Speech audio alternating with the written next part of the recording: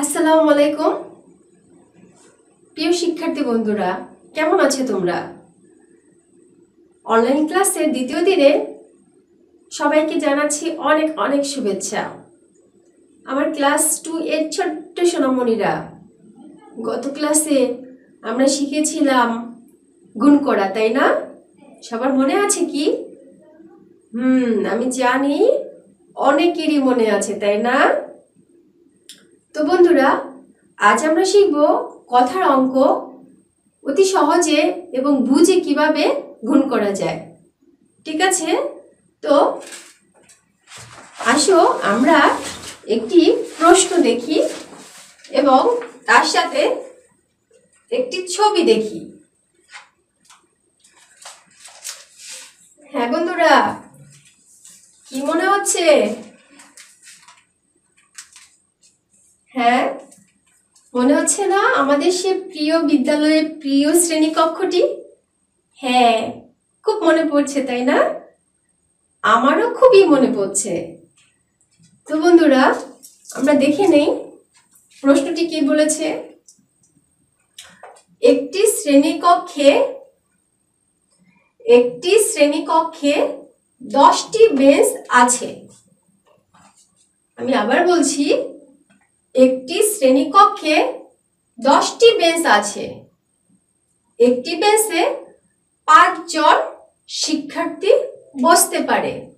একটি বেঞ্চে কয়জন শিক্ষার্থী বসতে পারে? পাঁচজন। শ্রেণীকক্ষে মোট কতজন শিক্ষার্থী বসতে পারবে? হ্যাঁ বন্ধুরা, এই প্রশ্নে কয়েকটি বিষয় আছে যা আমাদের বুঝে নিতে হবে। দেখো, আমাদের প্রথমে দেখতে হবে কি দেওয়া আছে এবং কি চেয়েছে। প্রশ্নের উত্তর আমাদেরকে কি দিতে হবে, সেটা আমরা কীভাবে বুঝব? দেখো, একটি শ্রেণীকক্ষে দশটি বেঞ্চ আছে, দশটি বেঞ্চ আছে, দেখি আমরা। এই একটি বেঞ্চ দুটি বেঞ্চ তিনটি বেঞ্চ চারটি বেঞ্চ এই পাঁচটি বেঞ্চ এবং ছয়টি বেঞ্চ সাতটি বেঞ্চ আটটি বেঞ্চ নয়টি বেঞ্চ এই দশটি বেঞ্চ মোট দশটি বেঞ্চ রয়েছে। তাহলে একটি বেঞ্চে পাঁচজন শিক্ষার্থী বসতে পারে। তাহলে দেখো, এই একটি বেঞ্চে কয়জন শিক্ষার্থী বসতে পারবে? পাঁচজন। তাহলে দেখি তো আমরা গণে পাঁচজন আছে কিনা। একজন, দুইজন, তিনজন, চারজন, এই পাঁচজন। তার মানে একটি বেঞ্চে শিক্ষার্থী বসতে পারে মোট পাঁচজন, তাই না? তাহলে শ্রেণীকক্ষে মোট কতজন শিক্ষার্থী বসতে পারবে? তার মানে এই যে শ্রেণি কক্ষটা এই কক্ষতে যে দশটি বেঞ্চ রয়েছে, সেখানে মোট কতজন শিক্ষার্থী বসতে পারবে? মূলত এটাই আমাদেরকে বের করতে হবে। তাহলে আমাদেরকে কি দেওয়া আছে সেটা আমরা দেখি। আমাদের দেওয়া আছে কি? একটি বেঞ্চে পাঁচজন শিক্ষার্থী বসে। এটা হচ্ছে আমাদের দেওয়া আছে।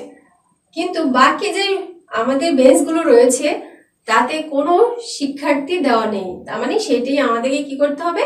বের করতে হবে। তাহলে আমরা কি করব? আমরা অঙ্কটি করে ফেলি। তাহলে দেখো একটি একটি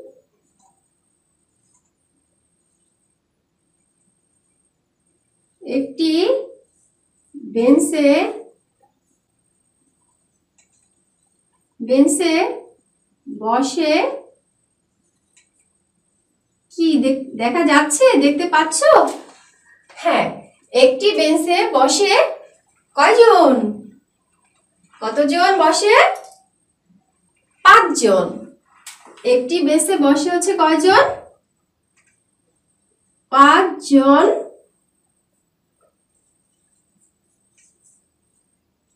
জন। তাহলে এই দশটি বেঞ্চে দশটি বেঞ্চে কতজন বসতে পারবে? কি হবে? দশটি বেঞ্চে কি বেশি বসতে পারবে? নাকি কম বসতে পারবে? অবশ্যই অবশ্যই অনেক বেশি বসতে পারবে। তাহলে দেখো, দশটি দশটি বেঞ্চে বসে পাঁচ গুণ এই দশ জন। তাহলে এখানে দেখো পাঁচ গুণ দশ। তাহলে আমাদের এটা গুণ করে বের করতে হবে, তাই না? তাহলে বন্ধুরা, আমাদেরকে অবশ্যই অবশ্যই খুব ভালো করে নামটা শিখতে হবে। আমরা বিদ্যালয় শ্রেণীতে দুই থেকে দশ গড় শিখেছিলাম, তাই না? হ্যাঁ তাহলে এই দুই থেকে দশ গড় আমরা বাসায় আরও ভালো করে শিখে নিব। ঠিক আছে? তাহলে যদি নামটা শিখি, আমরা নামটা পারি, তাহলে গুণ করা খুব সহজ। তাহলে দেখো, একটা মজার বিষয়। সে হচ্ছে কি, দশ গড়ের যদি আমরা নামটা পাঁচ পর্যন্ত করি, তাহলে আমাদের উত্তরটি বের হয়ে যাবে। আবার যদি আমরা পাঁচ গড়ের নামটা দশ পর্যন্ত করি তাহলে কি? আমাদের উত্তরটি বের হয়ে যাবে। তাহলে দেখি তো, দশ পাঁচে কত? পঞ্চাশ। এবং পাঁচ দশে কত? পঞ্চাশ। তার মানে আমাদের উত্তর কত হবে? পঞ্চাশ হবে। তাহলে পঞ্চাশ জন। তার মানে এই যে দশটি বেঞ্চে বসতে পারবে কতজন?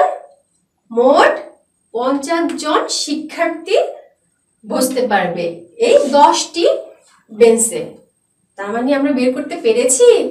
হ্যাঁ অতি সহজে আমরা অঙ্কটি গুণ গুণ করে নামতার মাধ্যমে বের করতে পেরেছি, তাই না?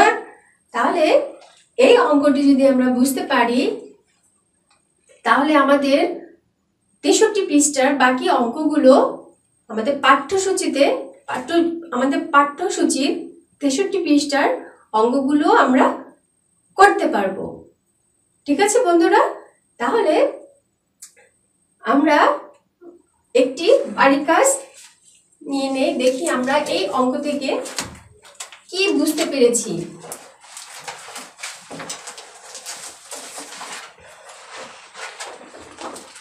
বাড়ির কাজটি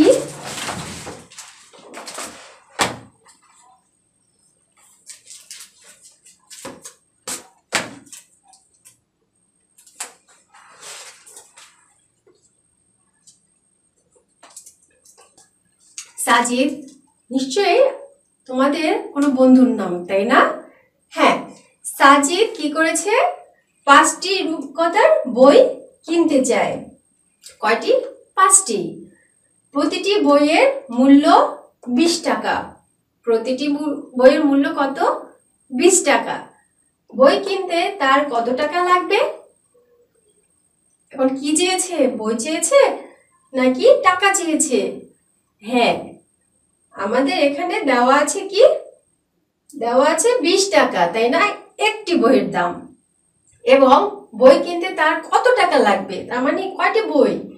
এই পাঁচটি বই কিনতে তার কত টাকা লাগবে? তাহলে আমাদের এখানে একটি অপশন দেওয়া আছে, কি বলো? এখানে একটি বইয়ের একটি বইয়ের দাম দেওয়া আছে।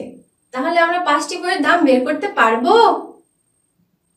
হ্যাঁ আমি জানি অনেকেই চেষ্টা করলে বের করতে পারবে। ঠিক আছে? তাহলে এটা হচ্ছে তোমাদের আজকের বাড়ি কাজ। এই বাড়ি কাজটি করে অবশ্যই আমাকে কমেন্টসের মাধ্যমে জানাবে। ঠিক আছে বন্ধুরা? এবং বাসায় দুই থেকে দশ বার পর্যন্ত নামটা খুব ভালো করে করবে। কেননা এই নামটা করলে আমরা গুণের অঙ্ক এবং ভাগের অঙ্ক খুব ভালো করে করতে পারব।